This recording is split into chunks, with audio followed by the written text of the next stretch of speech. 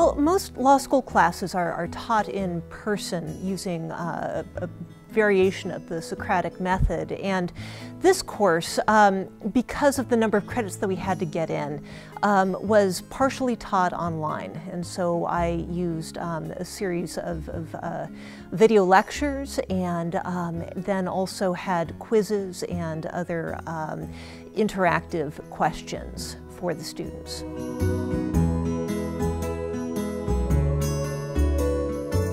Well,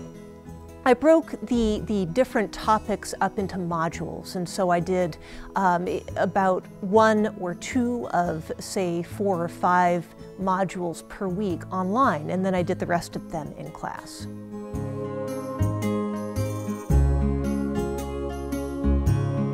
Well, I think it, it shows that um, this kind of structure can be used successfully, at least in, in law school courses, and I know that it's used elsewhere at Hamline, but it hasn't been done as much um, in the law school, and um, this, I, I, think, could be implemented more widely if we wanted, particularly with our weekend students, uh, many of whom drive from long distances to come here.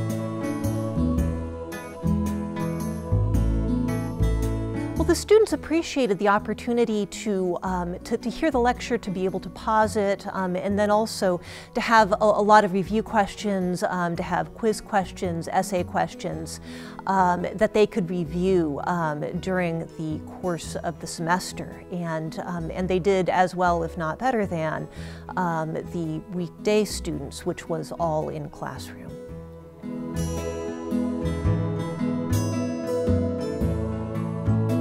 Um, before I started doing any online teaching, I, I, was a real skeptic about its, its possibility, at least in, in the law school setting, and um, I've become convinced that it, it works very well.